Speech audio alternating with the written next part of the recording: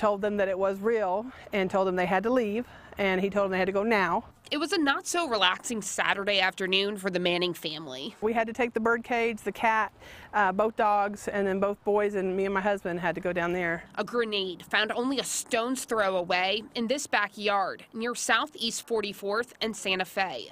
The Mannings say a crew working on an old shed in their neighbor's backyard discovered the explosive. And I thought, well, then it's just a toy, it's just fake, it's not real, or it's, it's like a maybe a paperweight or something. At first, Manning thinking it was some kind of joke until emergency vehicles swarmed her neighborhood and ordered the entire family, dogs, cats, birds, and all, out of the area. My youngest wanted to take the fish, and it's like, we can't take the fish.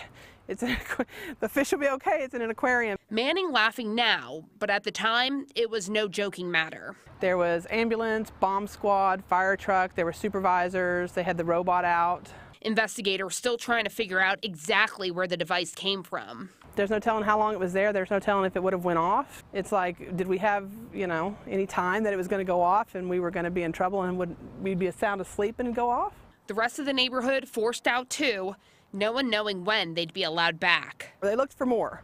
Um, they did the whole fence line. They, they checked all the, the stuff in the very back. So there shouldn't be anything else, and I'm hoping there's not anything else. The bomb squad robot removed the grenade and it was taken to the range. Officers said the grenade was treated as if it was live.